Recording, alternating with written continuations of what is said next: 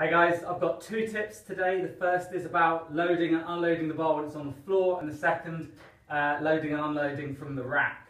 So uh, the first point is um, just because it's not an actual exercise doesn't mean you shouldn't have good form.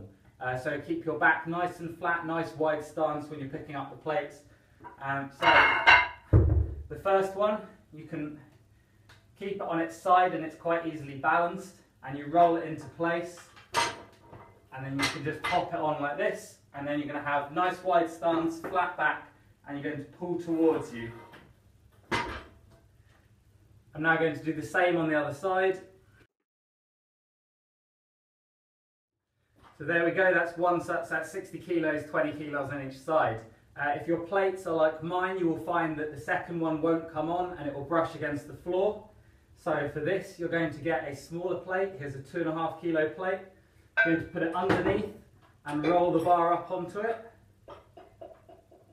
And make sure it's in place. And now it's higher up off the ground and you can repeat the same process for the second and third plates or as many as you need to.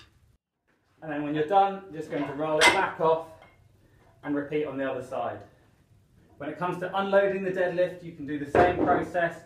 Put the smaller plate on the floor, roll it up onto it, and start taking them off one, one at a time.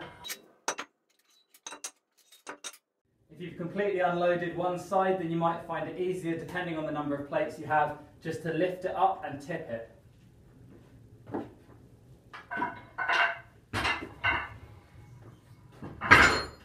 And then you can just pull the bar out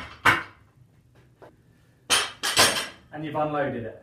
Next up is the same situation but on the bar. Uh, if you remember your maths lessons, this is a moment arm. So you think of each pin uh, as a point in a seesaw. So um, if it's a 20 kilo bar, then it should be able to hold a 20 kilo plate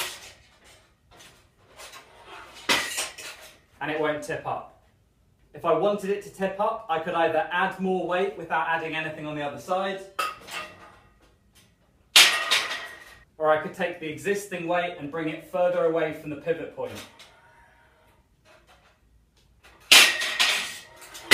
So if I don't want it to tip up, I'm going to push the heavier side so that the weight is as close as possible to the pin. That way I can load several plates and it won't tip up. When it comes to unloading the bar, it's probably safest just to unload one plate at a time from each side. Uh, if you've got a training partner, then they could unload one side at the same time as you're unloading yours, but make sure you go at the same pace. Uh, thank you for watching.